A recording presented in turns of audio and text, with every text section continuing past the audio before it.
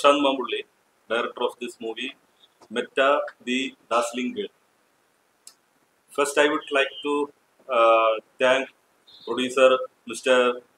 Tilok Kotariji and the entire team, Metta team, for the support, the special movie. Now you're thinking, what is a special? This is the so many special things inside the about the movie Metta. This movie, no dialogue, no dialogue, no show face, nothing weird, nothing. It's a, special experience for uh, in their world audience. Actually, this is the global movie.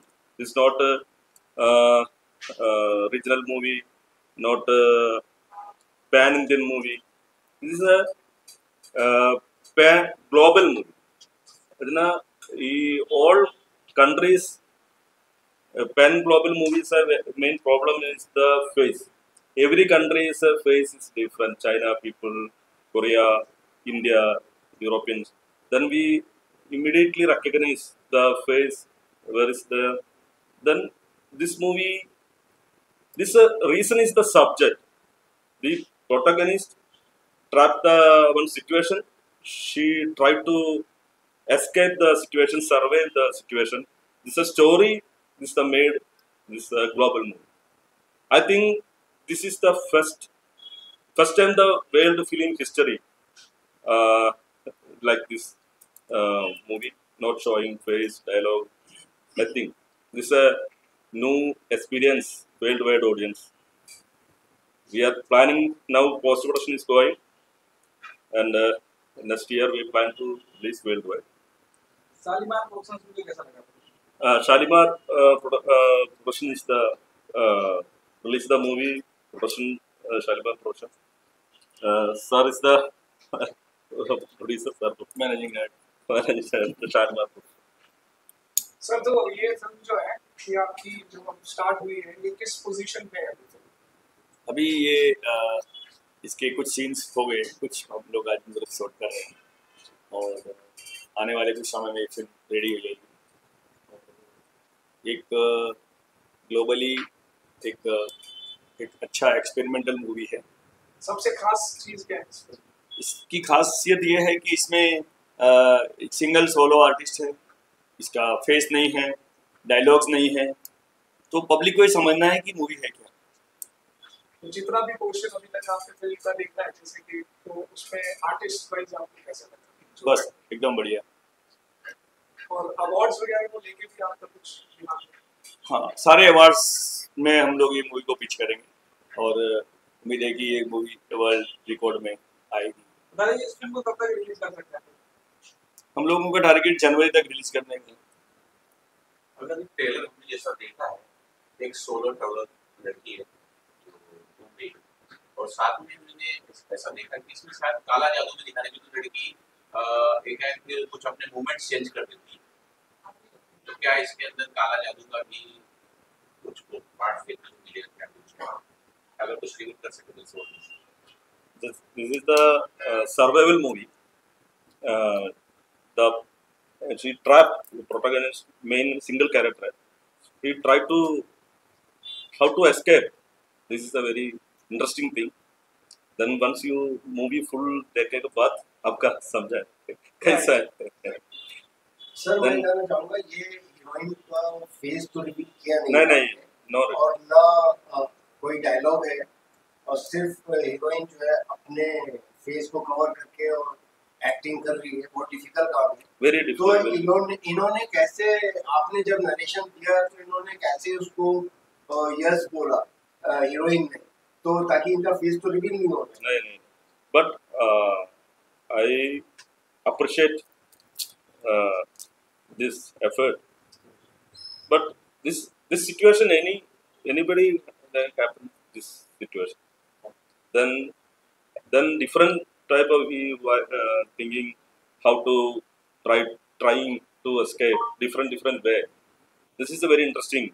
Then full survey then this full body language we communicate then uh, till now we are uh, uh, watch movies or dialogue ways, Navarasa, face expression. Then without face, uh, movie uh, communicate the audience. Very, uh, very difficult thing. But this subject is the main uh, thing. Then movie you watch. Uh, we are very, very hopeful in this movie. जैसे मैंने trailer में देखा है trailer जो आपका दिखाया अभी launch किया उसमें देखा है मैंने लड़की जो है एक मटके से अपना कवर है और नाक मार देता है उसको। तो वो कवर करके उससे फाइट करती है डांस तो उसको डांस जो करा रहा है वो नाक करा रहा है या खुद कर रही है और भागते भागते स्ट्रगल करते करते करते करते इनके कपड़े ही पड़ गए बिजली में वो आपको सीन शूट करते हुए कितना डिफ़िकल्ट है? Yeah, it's a very difficult uh, job. Uh, but mm, movie, uh, movie wanted this uh, these situations. Then you see the total movie. Then you know the situation. But that not explaining the problem. Then you first you watch the movie total movie. Prashant जी अ, इस unit के सारे लोग नाम बताते हैं Hmm? Unit के सब लोग नाम बताते हैं Now, yes Pranida. All all team all Ah. team entire team of Shalimar Yeah, this yeah, movie sir. meta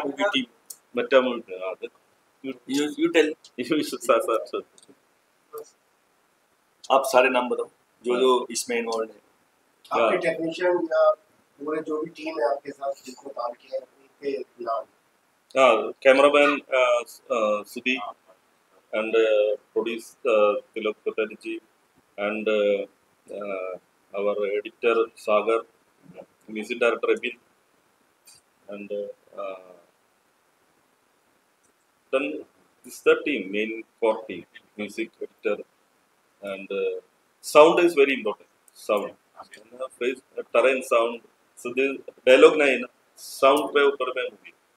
तो लोग ये इस तरह मेटल मेटल का आपने फ़िल्म प्रोड्यूस किया है अगर ये मेटल सपोर्टेड अगर आप देखो तो कैसा महसूस होता है बताएँ वेरी डिफ़िकल्ट बहुत डिफ़िकल्ट है और जो जिस तरह से जो सिचुएशन में एक्ट्रेस ने काम किया है वो एक मतलब अपने अपने एक अलग ही ये एक्सपेरिमेंटल है कि किस तरह से किस सिचुएशन से आर्टिस्ट निकल के आता है और वो भी विदाउट देखे यानी ना मतलब वो देख पा रहा है और बिना देखे उसको किस तरह से कुछ समस्याओं का सामना करना पड़ रहा है और उसको कैसे सॉल्यूशंस पे लेके आते हैं। सर कहाँ कहाँ शूट करा है आपने ये लोकेशन अभी तक कहाँ कहाँ शूट हो गया और कहाँ कहाँ करने वाले हैं? Hmm. Location Kerala, Vicky. Uh, eh? Virtual work is here, post production here. Nisha.